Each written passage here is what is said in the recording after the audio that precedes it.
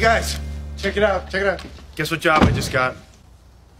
I don't know, but Donald Trump wants his blue blazer black. What? Blue blazer back. He, he wants it back. But you said black. Why would he want his blue blazer black? Well, you, you, you know what I meant.